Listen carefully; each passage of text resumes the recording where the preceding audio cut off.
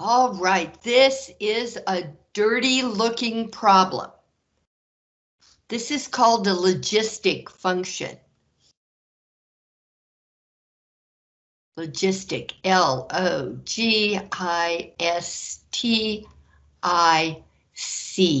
And these are used when you have a, um, a maximum number of what you're looking at that can't go above that ma maximum number. All right, so this is more of a growth function than a decay function, but the way it's worded, we have to use a logistic function. And I'll explain why. So I'm going to read you the problem. Logistic function. Okay, in a town whose population is 4,000, a disease creates an epidemic. Sound familiar?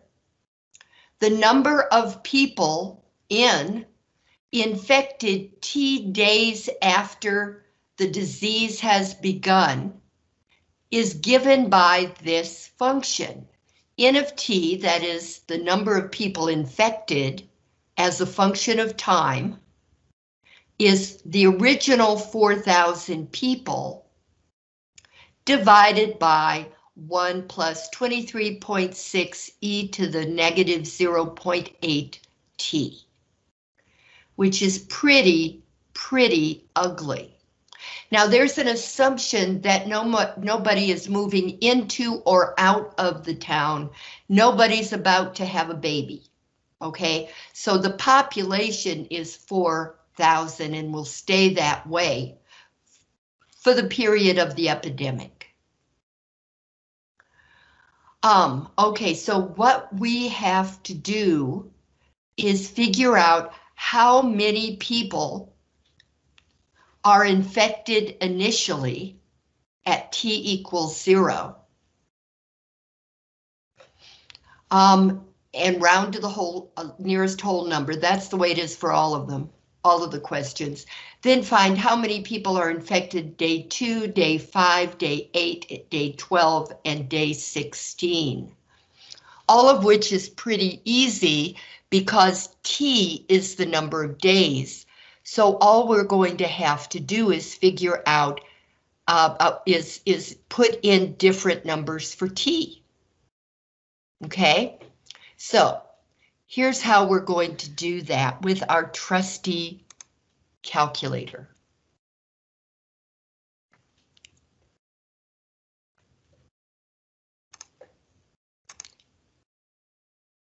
So I was going to explain why why we have to use a logistic function, and it is that since the most people that can be infected is 4,000, because that's the population of the town. So when there's an upper limit, we have to use logistic functions. Now you won't you won't ever have to do that. Maybe. but it's interesting anyway. Okay, I am going to take this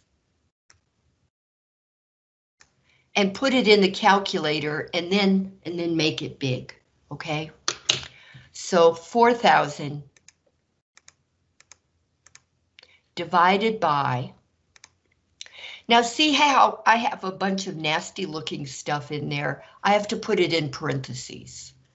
Parentheses, 1 plus 23.6 second second ln that gives me e to a power. And the power is negative 0.8 I have to use x instead of t Oh, that's it. Okay, I hit the right arrow key and I close my parentheses. Really? Hmm. Okay, so there we are, 4,000 divided by 1 plus 23.6 e to the negative, they say 0.8, I just said 0.8 x, and we're using X instead of T. No big deal. All right, now, the first question A is how many people are initially infected with the disease? Initially means in the beginning. T equals zero is how math people say in the beginning. So the first thing we're going to do is substitute X, um, uh, substitute zero for X. Then to find the people on the subsequent days, we're going to substitute 2 for X, and then 5, and then 8, and then 12, and then 16, and make the calculator do all the work, which I think is a wonderful thing. So here we go.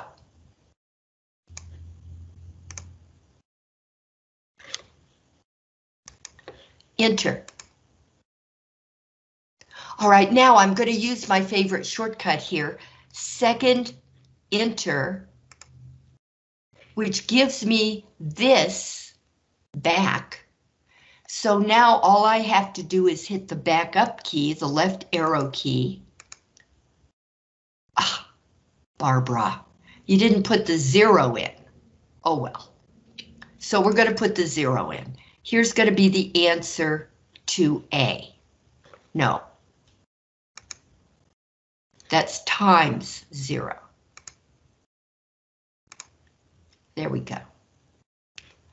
And I will get rid of that. Actually, I'm going to do this.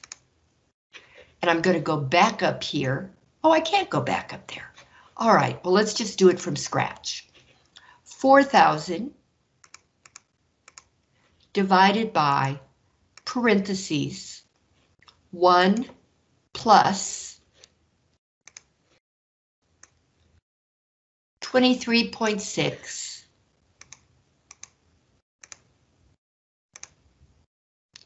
Second LN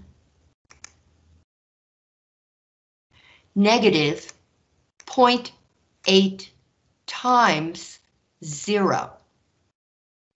And then right arrow key, and then right paren.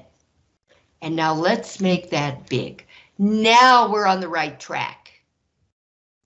So we're going to have to hit enter. Okay, so 163 actually ought to be the answer.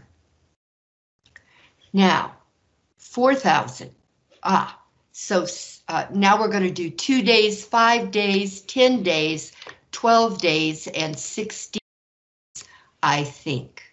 2, 5, 8, 12, and 16. Okay, I'll have to check back on that. Now, second, enter. Back up, back up, back up. Now my cursor is blinking over the zero. I need to calculate this answer for two days. So I type in a two. And then I go back to the outside of my parens and hit enter. So look how much it's jumped. From the very beginning to the second day, look how many more people have been infected. Now, second enter. I use the left arrow key to back up. This is going to be five. and I hit enter. After five days, 2,792, almost 3,000 people by the, the fifth day, the fifth day. All right, second, enter. Now we're going to do eight days. I back up, type an eight, and then come back out. I probably don't need to come back out, but I just feel better doing it. Enter. Now we've got almost 4,000 people, and that is how many people there are in the town. Okay. Now I'm worried.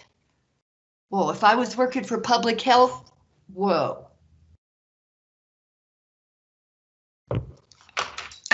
I, would be really worried. Okay, I back up, back up, back up. Now I'm going to put, see, I put in eight. Oh, doggone it. 12 and 16, okay.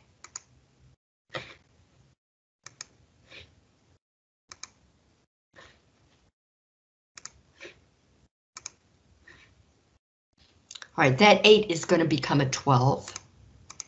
All I have to do is overwrite it. And then enter. Oh my goodness. And then 16. Second. Ah, uh, ah, uh, ah, uh, enter. I'm really getting nervous now.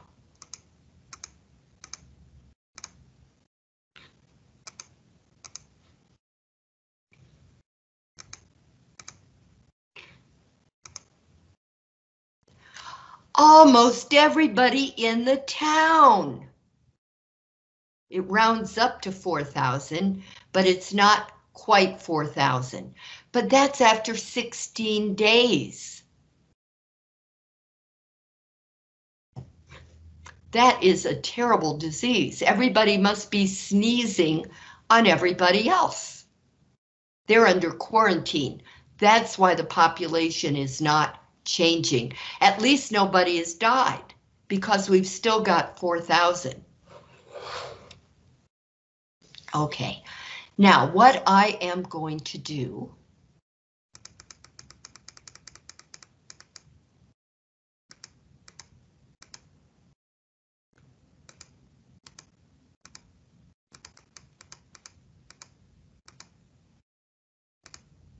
Okay. I am going to take all of these answers and write them, copy them to the next page.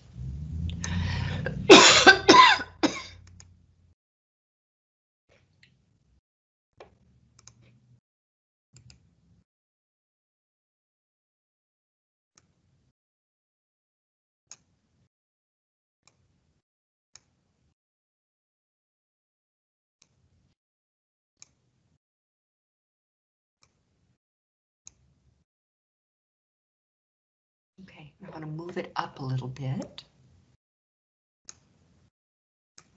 There. Okay. And now I want to write, this is A. And all of these are B. This is B. Two days.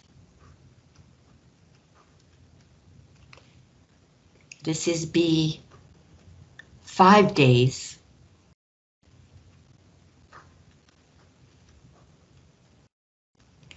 And this is B eight days.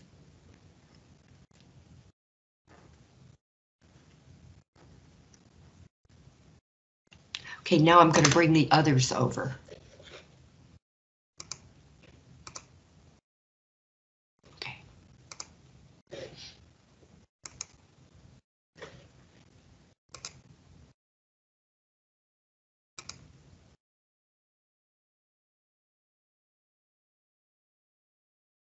Where did it go? Oh dear. Okay, all right, no problem. There, that's what I want. Okay, now we're going to come down. We have eight days. Now we're going to get 12 and 16.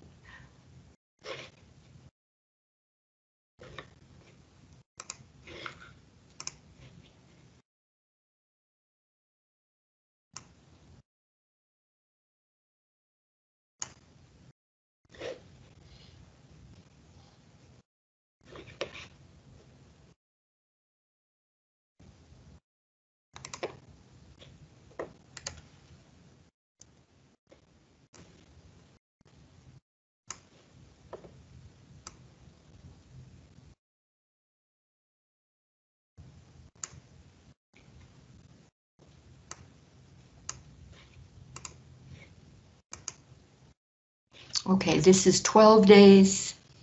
B, all of these are in question B.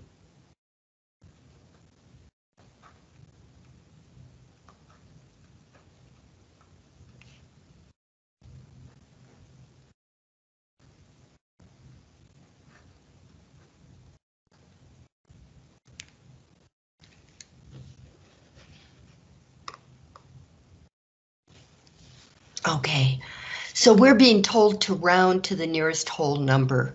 In the beginning,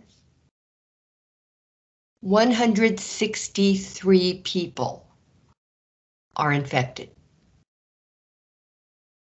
After two days, 694 because the 8 rounds the 3 up to a 4. Up here, the 6 rounds the 2 up to a 3.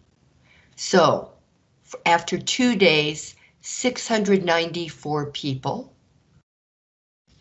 After five days, this 8 is going to round the 2 up to a 3, so 2793.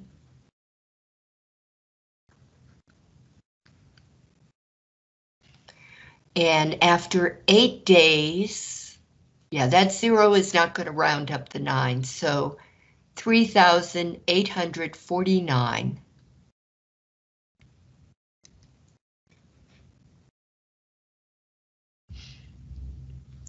Now, after 12 days, 3,990, the six will round the three up to a four. And doggone it.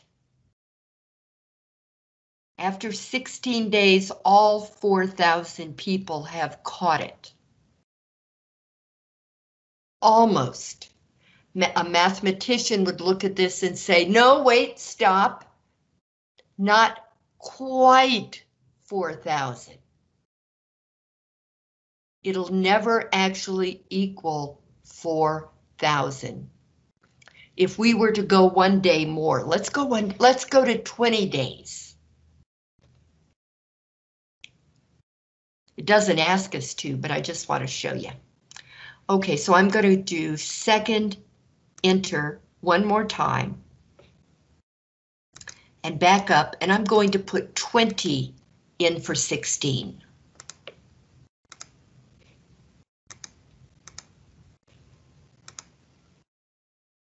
See, it will never go above 4,000 because 4,000 is as big as it gets and it will never actually equal 4,000. It will always be just a little sliver below 4,000, even though in real life, clearly that's 4,000 people.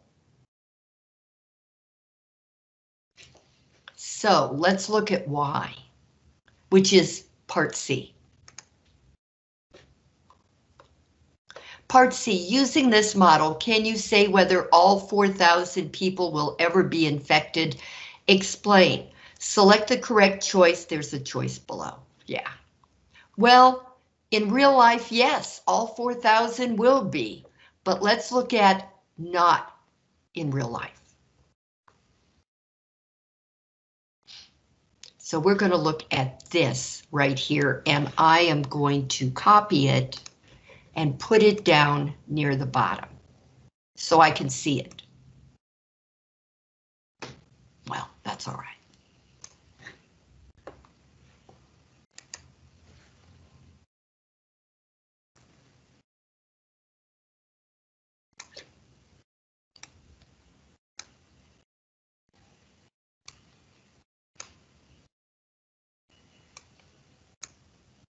Excuse me. All right, here's C.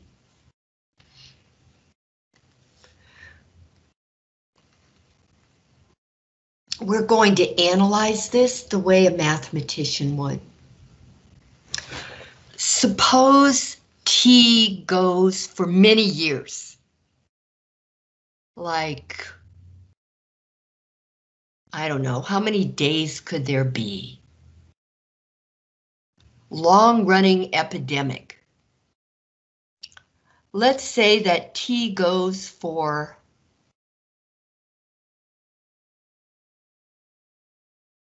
a million days. Now, that's not realistic, of course. but, but we're looking at this theoretically as t goes to infinity. And the way you write this is t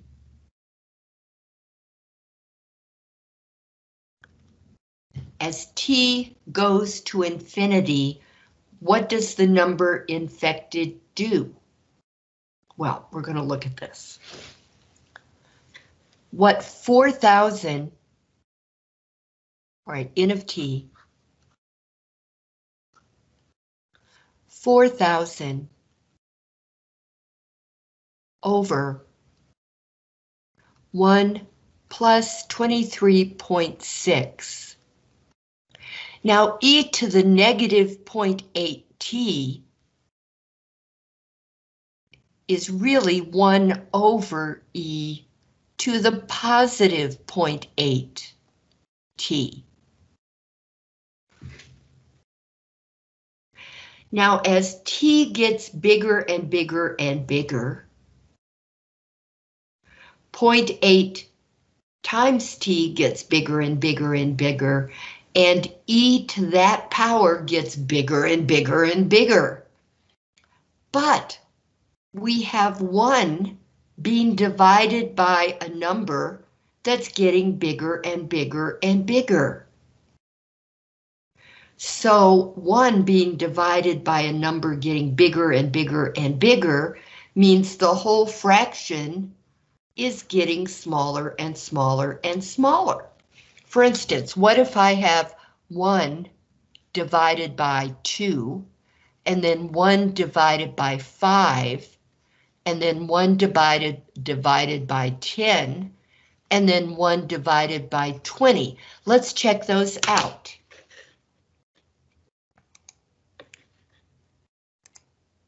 Okay, here we go. 1 divided, not times. 1 divided by 2 is 0.5. 1 divided by 5. And then 10 and then 20. 1 divided by 5. Look, it's already getting smaller. As the number on the bottom gets bigger, 1 doesn't change. So the overall fraction is getting smaller and smaller. 0.1.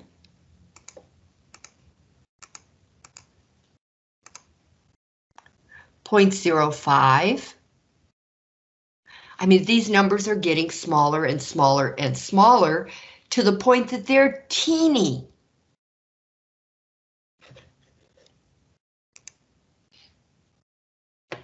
Smaller and smaller. Okay, someone is bound to think that this is related to the problem, and it's not.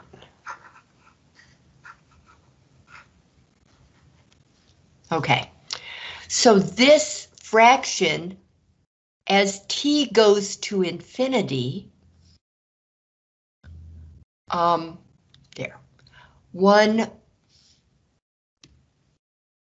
one over e to the point 8t gets really, really close to zero.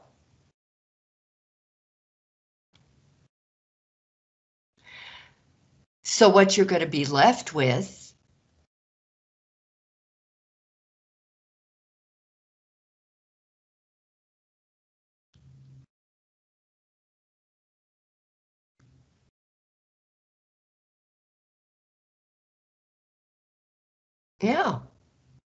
it's really true. We're going to have this, not exactly that, but really, really close to that so that this is going to be zero. So that, yeah. you'll have 4,000 over 1. Now that's after the epidemic goes for billions of years, billions of days. Actually, no, probably just a little over 16 days. Yeah, all 4,000 people are going to be infected. But you have to imagine this because it's not the same. I've done this problem three times with different numbers. And for some of the problems, it says, no, the whole, the whole population doesn't equal 4,000. And in some of them it does. In this one it does. Actually, this will never actually be zero, so it will always be one point something, which means that won't be exactly 4,000. So it's probably right to say, I mean, it could be like 0.000000002. So that the numbers will keep getting like this, really close to 4,000. And in real life, it would be 4,000, but mathematics is not real life. So no, it's not actually going to equal 4,000, but in real life, people sick, it will be the whole population.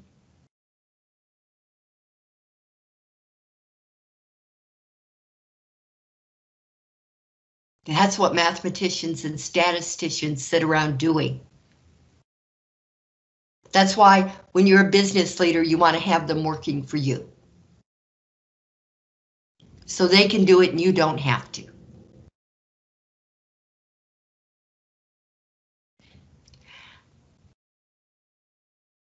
Now, have you ever thought about being an electrician? You could have fun with electricians. This is a multiple choice problem and these are your multiple choices. And we're going to go through the steps that you follow in order to get one of these answers and you can see which one is correct here. So how do you end up with that answer? Oh my goodness. Enough to give you a headache, or at least to need another cup of coffee. Actually, I keep ibuprofen by my computer. Because I know that math can cause headaches. Okay, here we go. I equals V over R. That's voltage over resistance. You don't have to know that. They don't even bother to explain it to you. Times 1 minus E to the negative R over L times T. I do know R is resistance, but I forget what I and L are. T is going to be time, probably.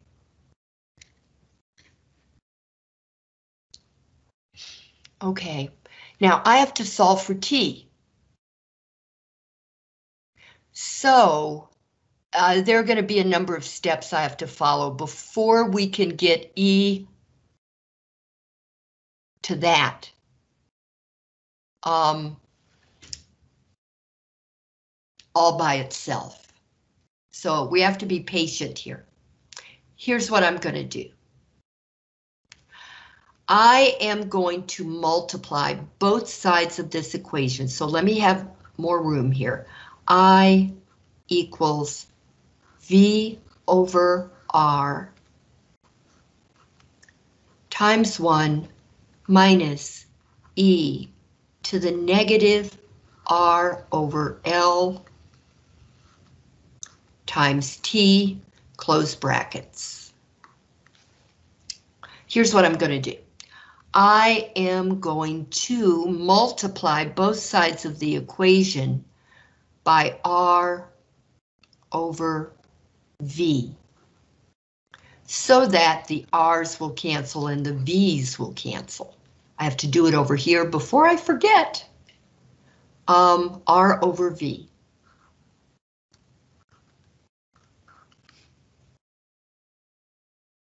All right.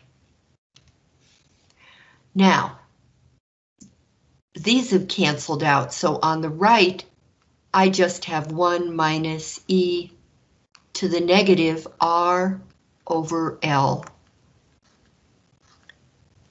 times t up in the exponent. Over here, r over v times i is really r over v times i over 1. So you multiply the R and the I together, you multiply the V and the 1 together, that's a 1. And what you end up with is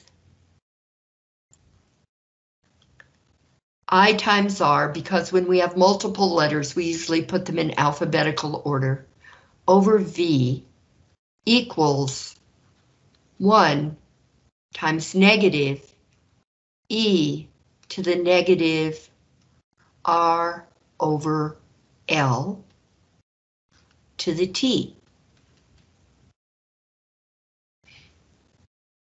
Okay.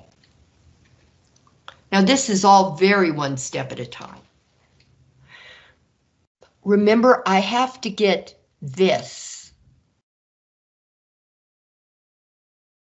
by itself. This is the term where T is, and I have to um, um, solve for T. So here, this negative in front of there is negative 1, just so you know. Now, this 1 is not doing anything, so I'm going to subtract it from both sides of the equation. I'm going to subtract this 1 and this, I'm going to subtract it from here also. So 1 minus 1 is 0 over here, and I am left with I R over V minus 1 equals negative 1 times E to the negative R over L times T.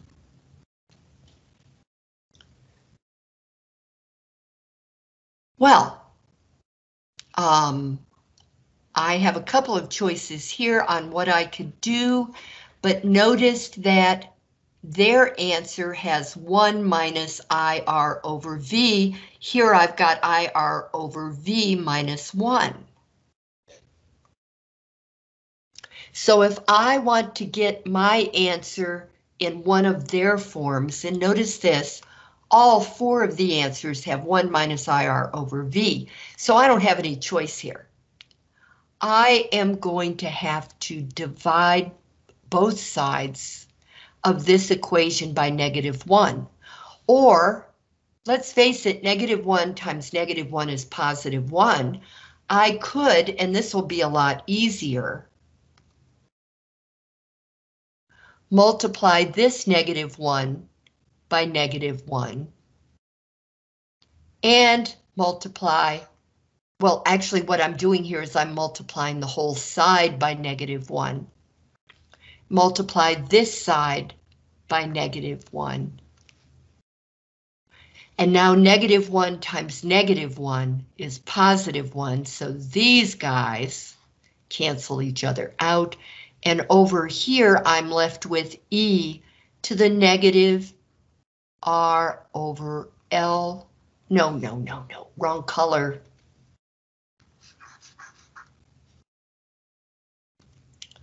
E to the negative R over L times T. Over here, I'm going to distribute the negative 1. I didn't have to distribute the negative 1 here because this is all one term. Um, so I will have negative I R over V. Negative 1 times negative 1 is positive 1. So that's what I've got in this step.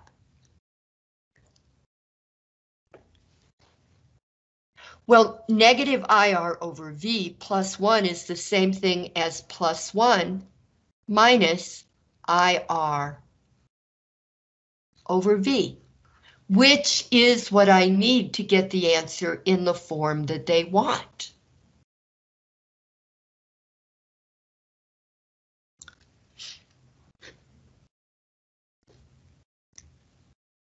Okay, equals. E to the negative R over L times T. All right, we're almost there. I have to take the ln of both sides to get that T down. So I'll put parentheses around both sides of the equation and take the ln of both sides. Because the ln is the, um, um, the word escaped me. The inverse function of E, ln of x, if I have f of x equals ln of x, then the inverse function is e to the x. They are inverses of each other. So that's why this works. Okay, so I am going to have the ln. Aha, there's the ln. I've got almost this whole thing ready now the ln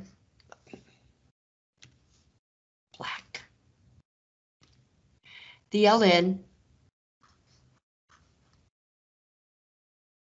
they put brackets, don't they? Okay. Well, not yet they don't though. 1 minus IR over V equals negative RL negative R over L times T times the ln of E, which is what? One. One, yes. And negative RL times T um, uh, times one is negative RL, R over L times T.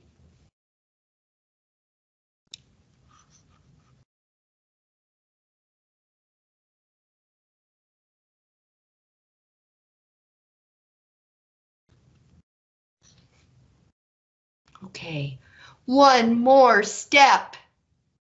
I'm going to move over the equal sign.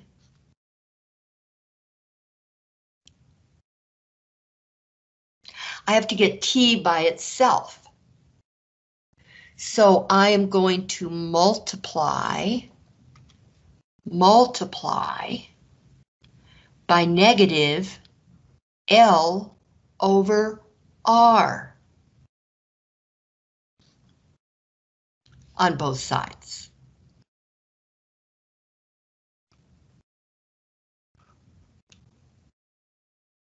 Now they're putting a bracket.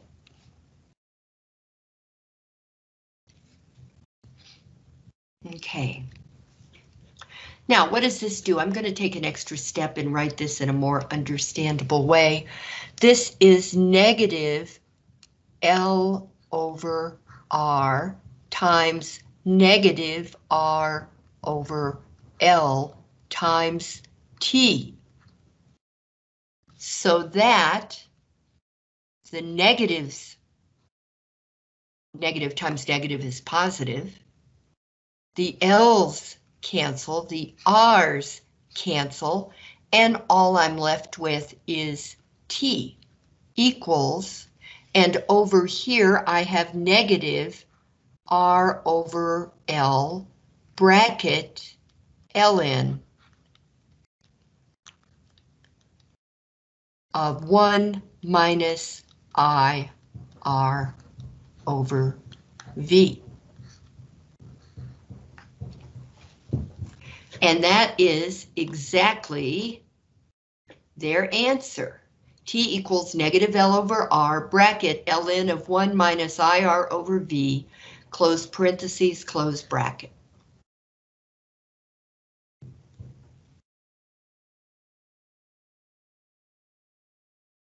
Is that a little stinker?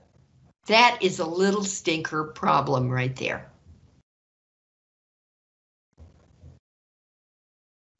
Yes, okay. I assume we all agree.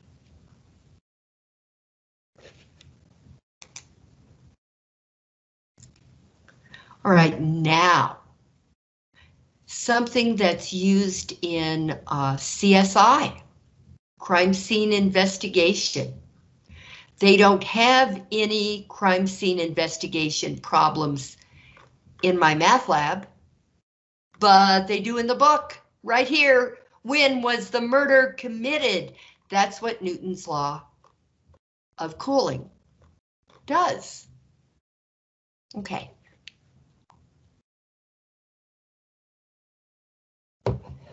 So according to Newton's law of cooling,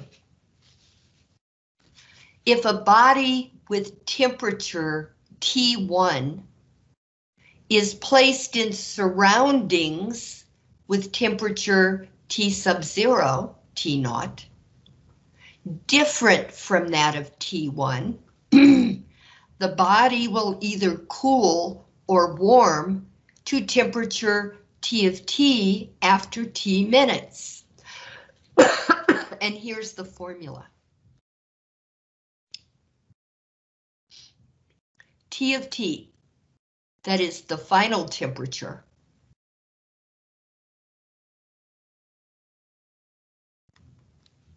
equals the surrounding temperature, the temperature of the environment surrounding whatever we're talking about.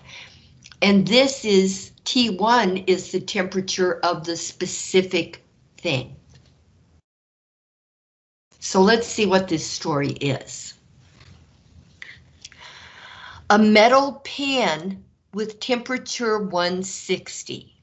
Okay, that's what T1 is.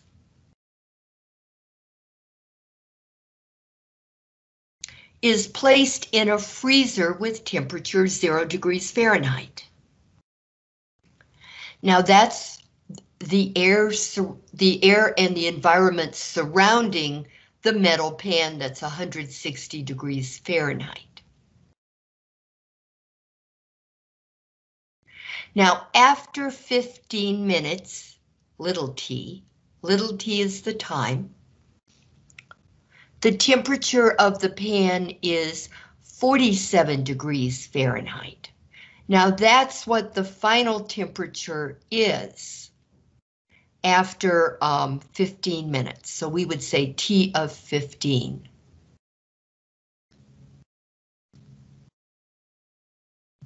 Use Newton's law of cooling to find the pan's temperature after 20 minutes.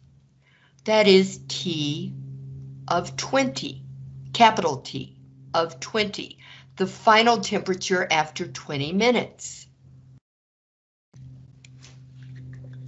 Now, all of this looks like a lot of gobbledygook, but all you have to do is stop and think what is the individual body? Well, here it's not a body body, it's a metal pan, and its temperature is T1. All of the other temperatures, that is the T naught and the T naught, so it occurs twice. They're the surrounding temperature. Okay, now, so we're ready to go, except we have no idea what K is. We can't solve a temperature until we know what K is. And furthermore, it doesn't tell us how many places to round to. So we did a problem like this Um, yesterday? No, Thursday. So we're going to do it again, one in which we we can't, well, you'll see. We just don't know how many places to round K to until the very, very end. All right, so here we go. T of T, in this case, T, uh, uh, well, T of 15, because that's what we're given first. The final temperature after 15 minutes, so you're taking a measurement then, is T naught, which is zero. I like to label them as I go along. Zero, zero degrees Fahrenheit, plus T1 minus T naught. Now T1 is 160, so 160 minus zero times E to the negative K little t. That's going to be minutes. T is minutes. Little t is minutes. Well, this is going to be T of 15. Oops, we do know what that is. T is 15 minutes. Because it says so. After 15 minutes, the temperature of the pan is 47 degrees. It was 160. They put it in the freezer for 15 minutes, and, and when they check the temperature, it's 47 degrees. So that's after 15 minutes right here. T will always be T, that, that number. Okay, so 0 plus 160 minus 0 is going to be 0 plus 160. Um, so what we're going to have 160 e to the negative k times 15. Now big T of 15, capital T of 15 is 47. So we will have 47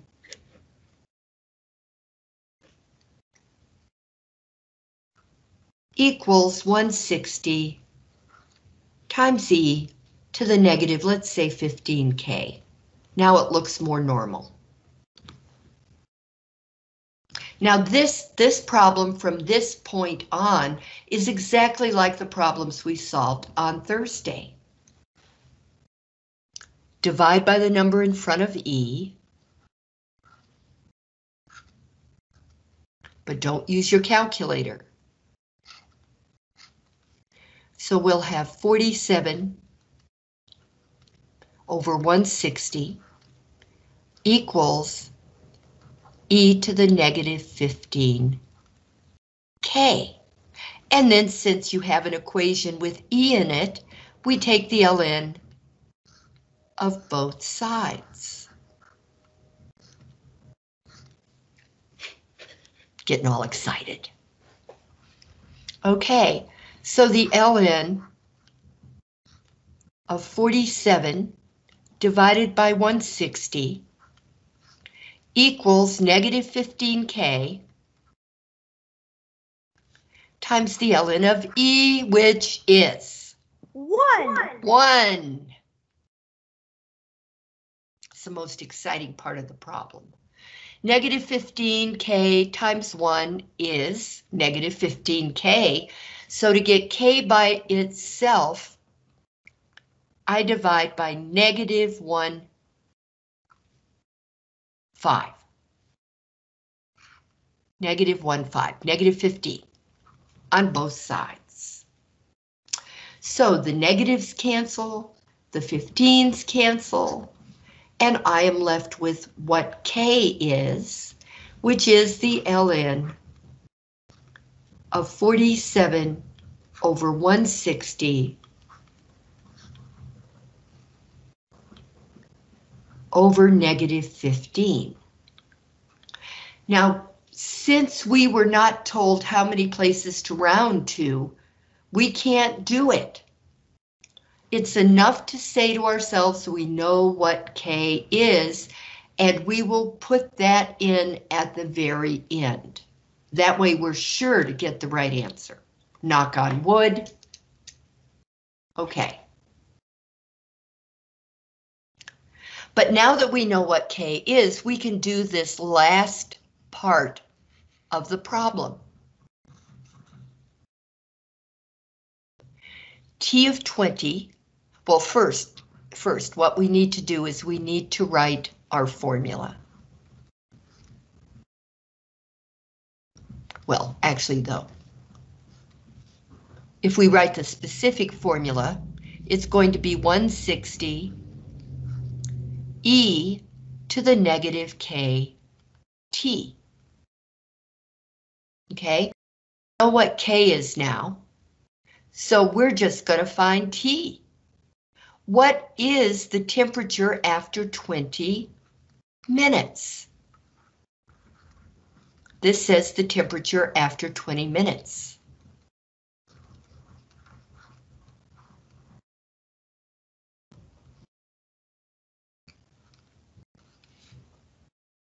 All right.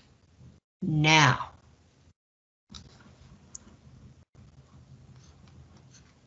T of 20, or T at 20, is 160 e to the negative k, and we know what k is, so that's going to be negative the ln of 47 over 60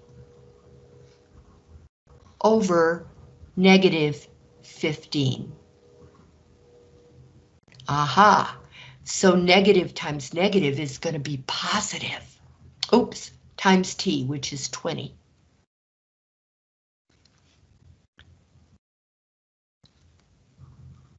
So the temperature after 20 minutes is going to be 160 times E to the ln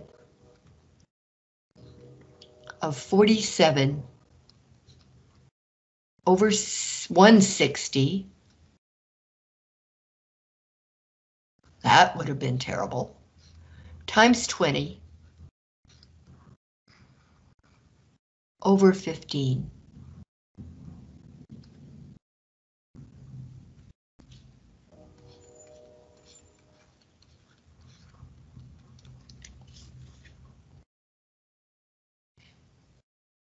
Yep, it's the negative 15. Okay, so here we go.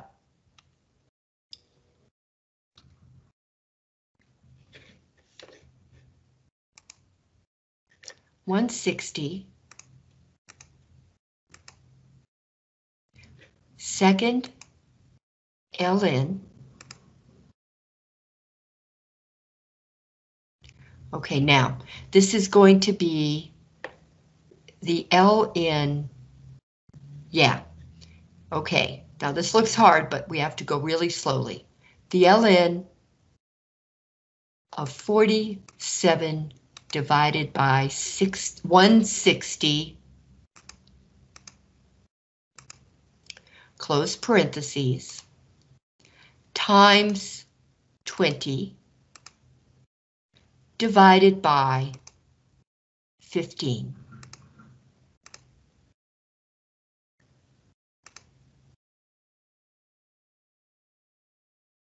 Okay, 31.24, and we're supposed to round to the nearest degree.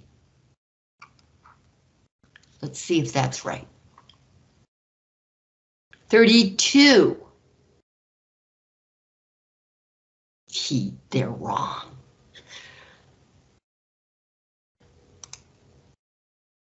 There's no way that 2 would round up to a 3, to a 1. So let's see. Let's see. If we go back here and we actually work out a decimal, ln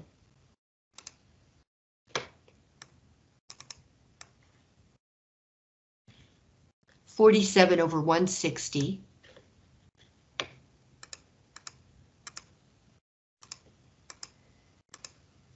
close parentheses, divide by negative 15.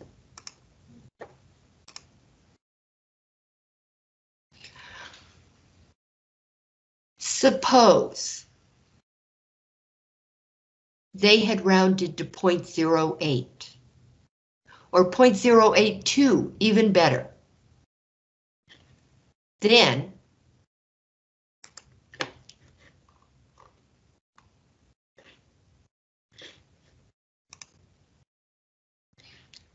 Let's put 0.082 there and see.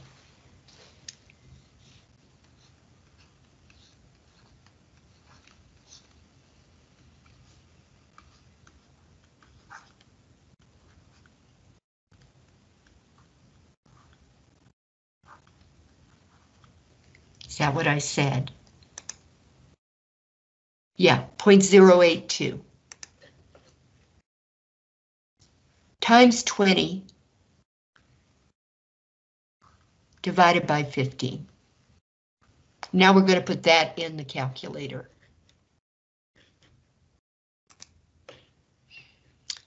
And, all right, so we're going to have 160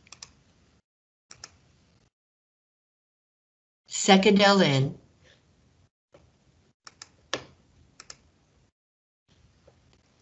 negative 0.082 times 20 minutes. Divided by 15.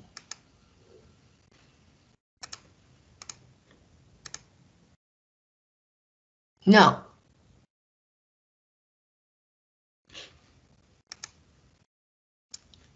So I will send the publisher a little note that's not actually too nice.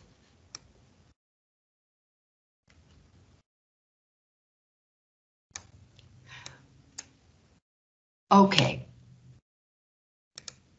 What if we use the whole long decimal?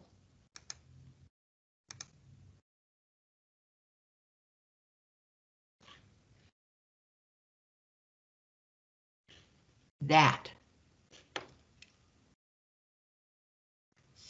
I'm not going to worry about it. Let's do the next one. Okay, here's the intro about Newton's law of cooling. A chilled jello salad with temperature 41 degrees Fahrenheit is taken from a refrigerator and placed in a 68 degree room. Okay, so if you can imagine a little dish.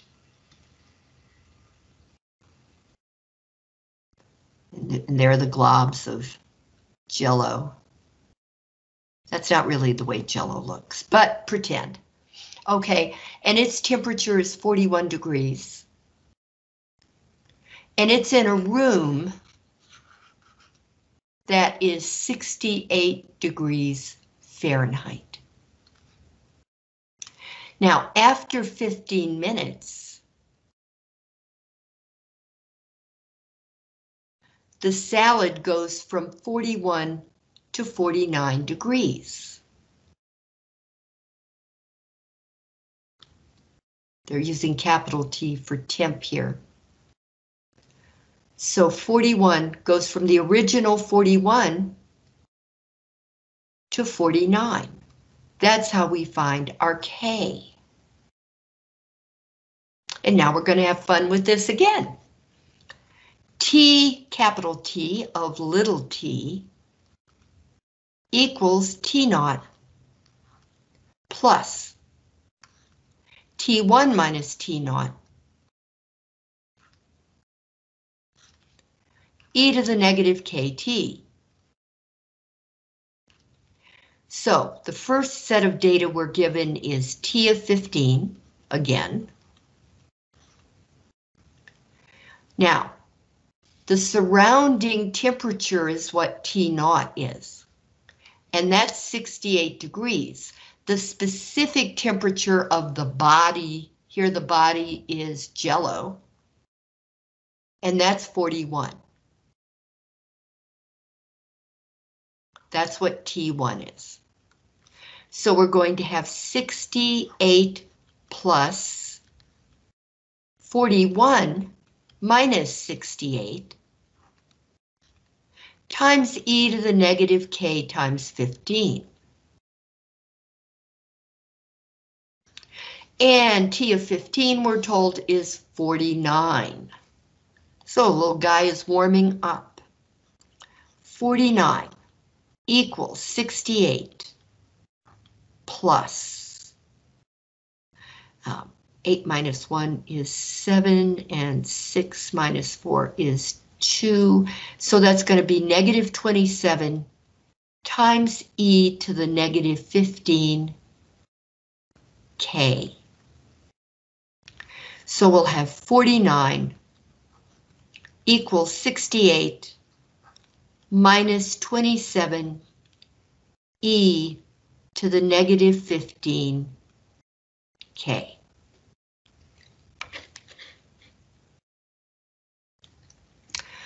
All right, the goal is to get this by itself. So the first thing I do is I subtract 68 from both sides.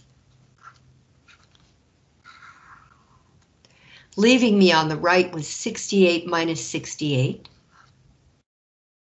minus 27 e to the negative 15 k. Now, um, 18 minus 9 and 5 minus 4 is 1, so that should be negative 19. Now let's see if that's right. 9 plus 9 is 18, carry the 1. Carry the 1. Hmm.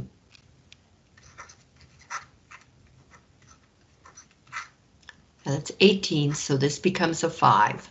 Yeah, it's going to be 19, negative. But yeah, the negative's up there. Okay. Now, what does that leave us? That leaves us with negative 19 equals negative 20 e to the negative 15 k.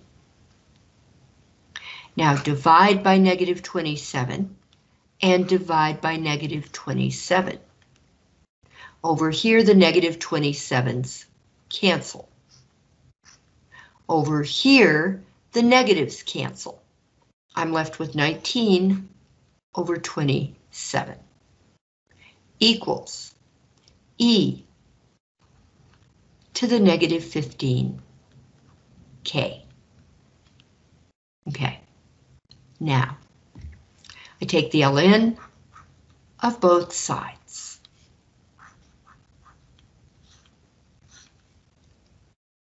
The ln of 19 over 27 equals negative 15k times the ln of e, which is one. One. Yep. Okay. So what k is going to equal is negative, well, I divide both sides by negative 15, and that tells me what k is. So k equals the ln of 19 over 27 divided by negative 15. Now, once again, we're going to play this game. Let's find out what that equals.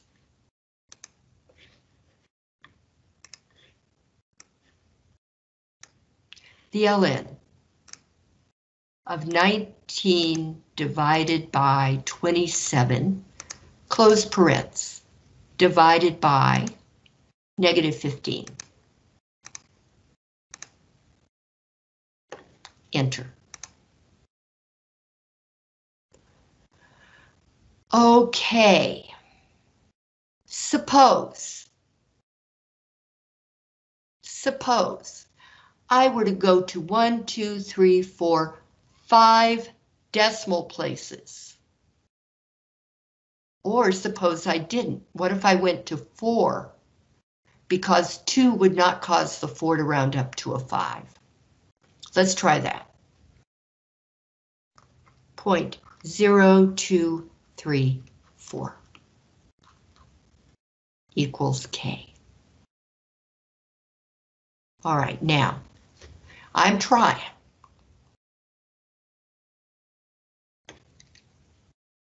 We're going to find out what now? Oh, again, they're going to wait to 20 minutes.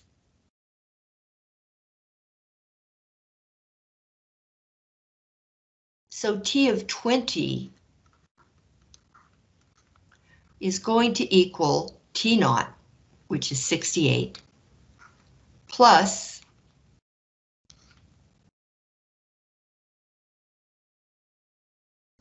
the original temperature, uh, which is 41. What did we put there? 41, yeah. 41. Well, actually, yeah, again, we don't have to do this from scratch because we have this right here. So this is going to be 68 minus 27E to the negative, because that negative sign is already there. 0.0234, let me check and make sure that's right. 0.0234.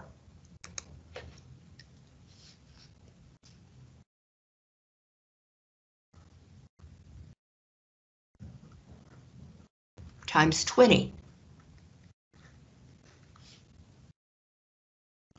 Okay, now don't be tempted to say 68 minus 27. This 27 is stuck onto the E. Okay.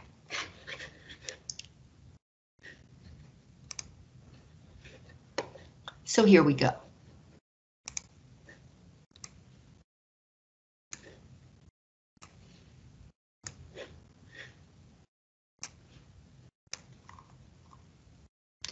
Sixty-eight minus twenty-seven. Second ln hmm, negative point zero two three four times twenty.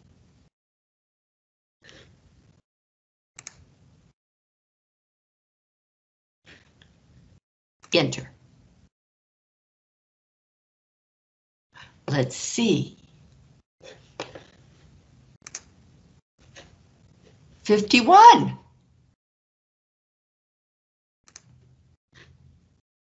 Because the zero won't cause the one to round up.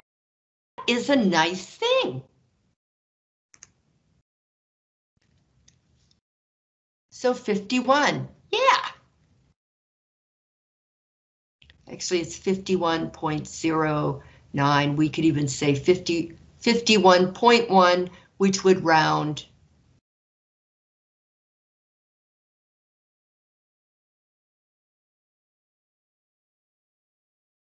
which would round to 51. So no problem.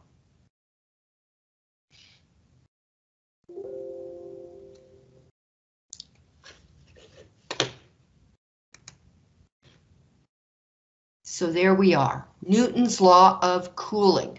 Now we don't have time to do this, but I'll work it out.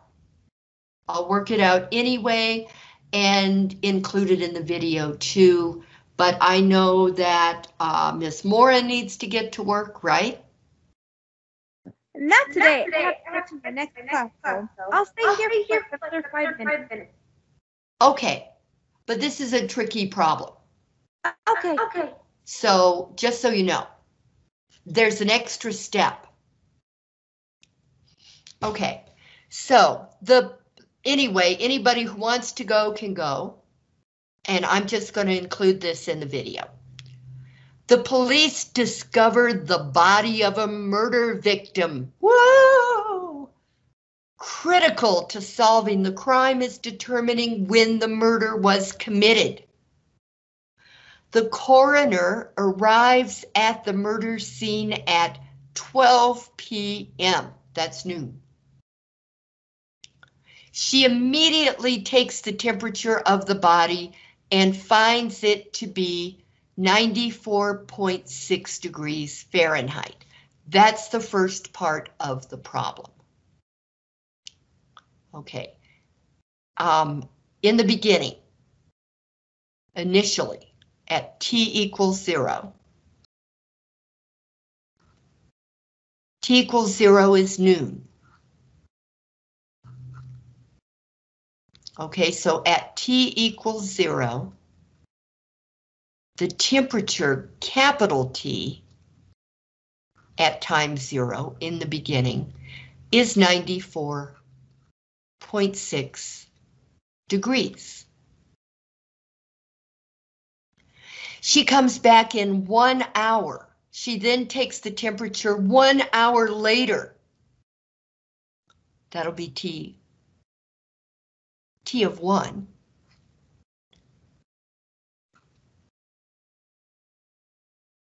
One hour later, the temperature is 93.4 degrees Fahrenheit. We're going to use this to find K. Once we have K, we are going to do the last sentence, which is the temperature of the room is 70 degrees Fahrenheit.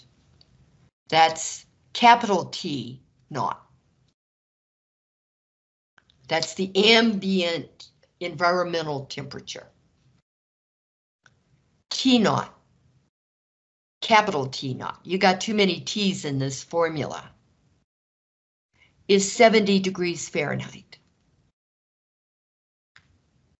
So I keep picturing this out in the forest, and it's not. They find the body in a room that's 70 degrees Fahrenheit. And George has just come in. Hello, George. No, you can't you can't get up there. There's Georgie. There's Georgie. Okay. No, you can't get on my desk. You can't get on my desk. Just make yourself at home. Okay. So here we go, here we begin. The first thing we're going to do is work with these two temperatures to find K. Yeah, all right, I'm sorry. I didn't mean to make you angry. All right, so T of T, big T of little t, equals T naught, the environmental temperature, plus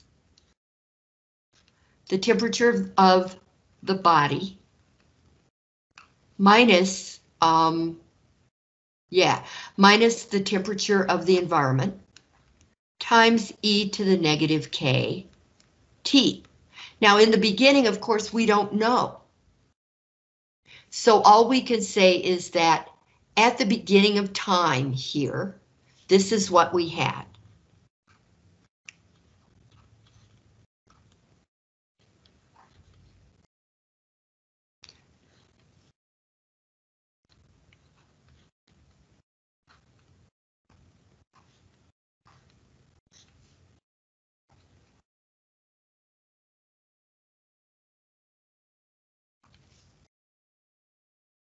All right, so we say 94.6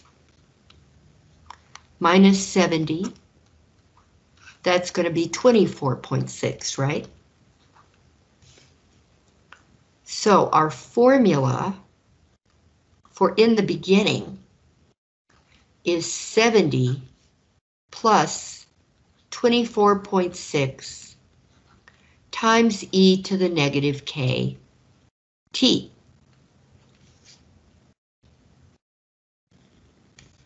now. The coroner comes back in exactly one hour.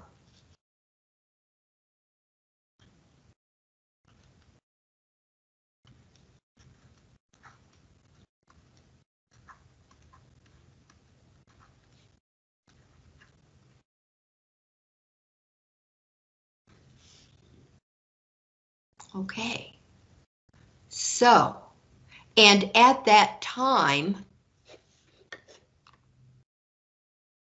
the temperature is 93.4.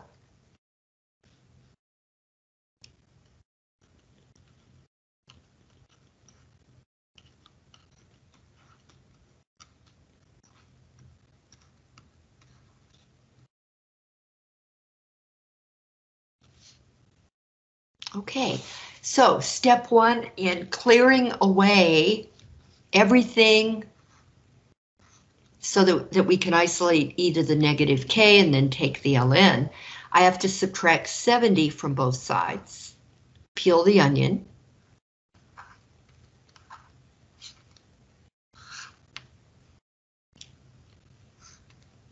Seventy minus seventy is zero on the right, so I have twenty-four point six times e to the negative k. Over here, we're going to say 93.4 minus 70, bring down the 4, or 4 minus 0 is 4, 3 minus 0 is 3, 9 minus 7 is 2. So we have 23.4 equals 24.6 times e to the negative k. The next thing I do is I divide out the number in front of E. 24 times 6, divide both sides by 24.6. Do not go to your calculator. So 23.4 over 24.6 equals e to the negative k. And we take the ln of both sides.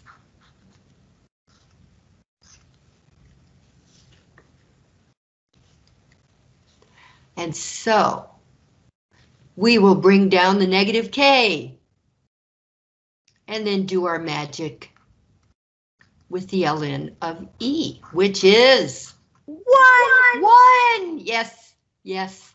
You, you are my one person.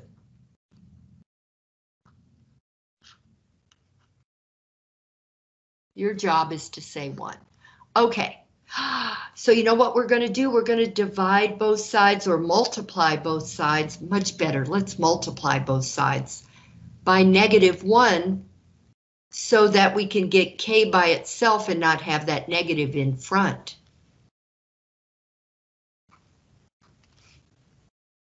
So that will be the ln of 23.4 over 24.6. I have offended George by not petting him.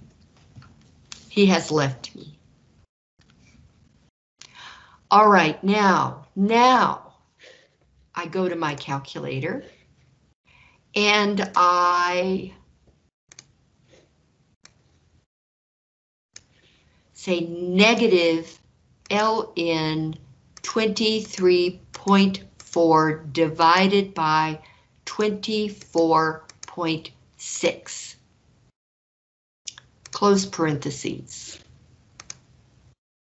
Negative ln of 23.4 divided by 24.6. Enter. And so I haven't got really a whole lot of choice except to go with 0.05 because 0.050010, I mean, it's never going to round up until the, so I'm going to go with point, I'm going to live dangerously. And go with 0.05 there not being a whole lot of choice. Notice it's positive, not negative, even though the negative was in front. These things happen. Actually, the truth is that when you have a number less than one in here, greater than zero, but less than one, the ln is negative. So you're going to have a negative times a negative, and that's why it's positive. All right, so we're going to let K equal positive 0, 5, positive 0.05. That's what it was, right? 0.05, yes. All right, so now we go up here. And we now have to figure out when the person died. So here's our formula. Final temperature. Miss Barbara, I'm head out, but I'll finish the video later today, okay? Okay, great. Final temperature equals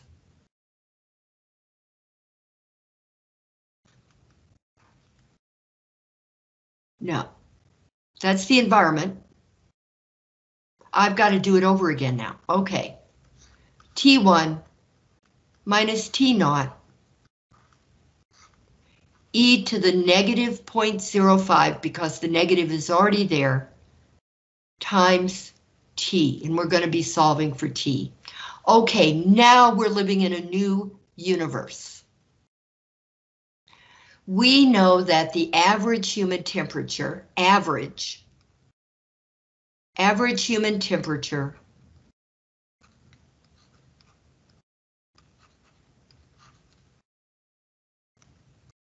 is 98.6 degrees Fahrenheit.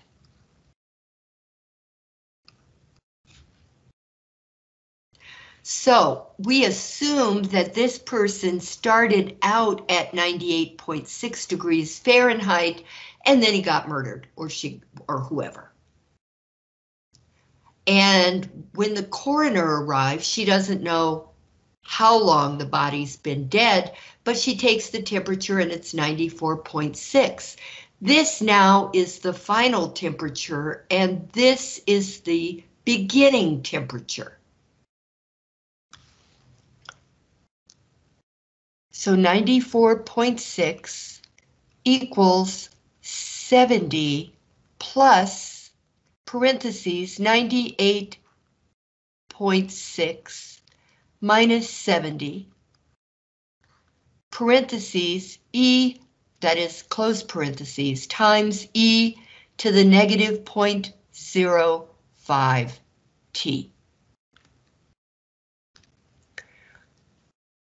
So we're going to have 94.6 equals 70 plus uh, 28.6 times e to the negative 0.05 t. All right, I'm going to subtract 70 from both sides.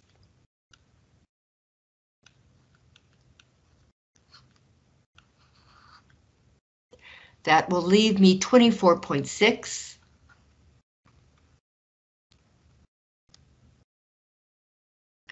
Over on the right, 70 minus 70 is 0. 28.6 e to the negative 0.05 t. Now I divide both sides of the equation by 28.6. 28.6. On the right, the 28.6's cancel out. I am left with e to the negative 0.05 t over on the right. And on the left, I have 24.6 over 28.6.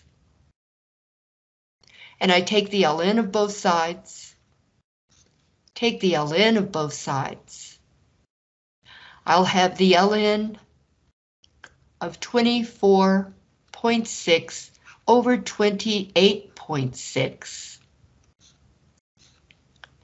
equals negative 0.05 t times the ln of e, which is 1.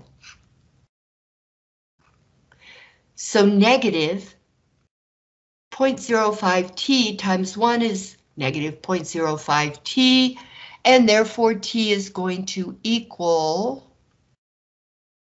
well, define t, I divide both sides by negative 0.05, which cancels out over on the right, leaving me with t equals this.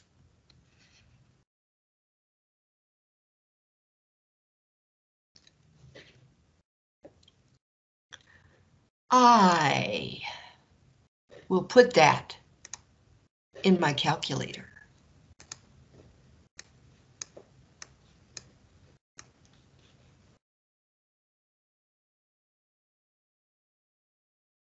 Okay, the ln of 24.6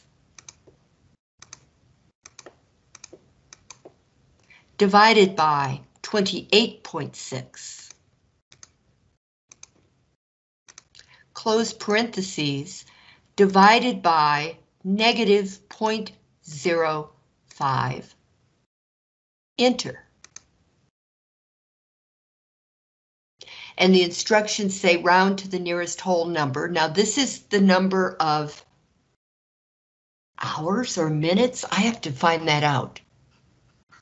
It's three something.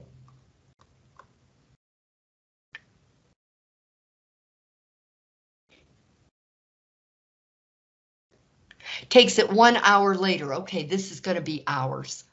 Whew. Okay, she first showed up here at noon. That's when she took this temperature.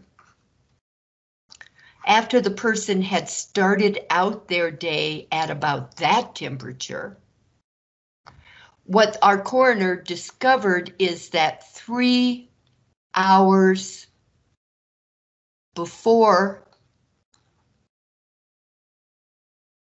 She took the temperature at noon.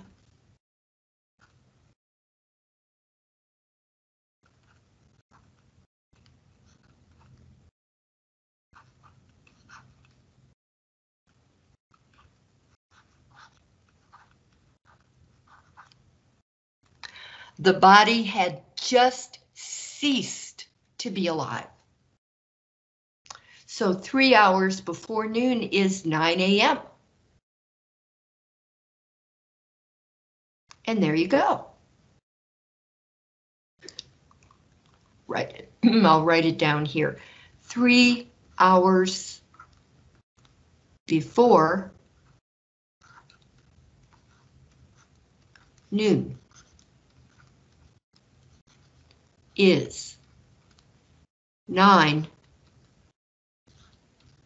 a.m. And we are done.